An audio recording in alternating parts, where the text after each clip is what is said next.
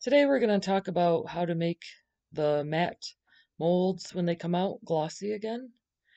Here there's two. One's done, the rabbit is done, and the other one isn't done yet.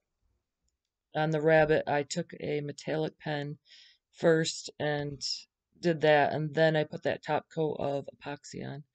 So I just put my hands in the resin and then just lightly gloss over the top. Try to get every spot because where you don't get will show up matte.